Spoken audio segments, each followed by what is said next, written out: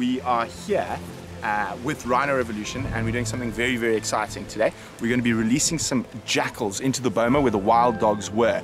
Now, of course, about two, three years ago, there was a major rabies outbreak that completely decimated the canine population in this area. So this is a reintroduction program uh, to try and get 60 to 70% of what would have naturally occurring here before the rabies outbreak so we can get the numbers up to where they should be.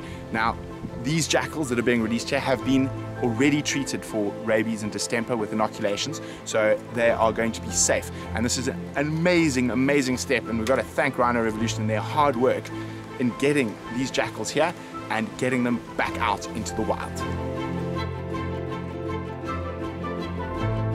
We're here with Rhino Revolution's resident jackal expert, Philip, um, and he's going to tell us a little bit more about where these jackals have come from.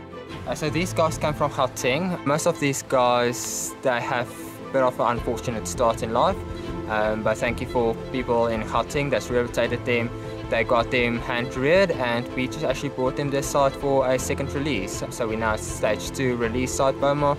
Um, so they'll stay here for a couple of weeks until we can get them going.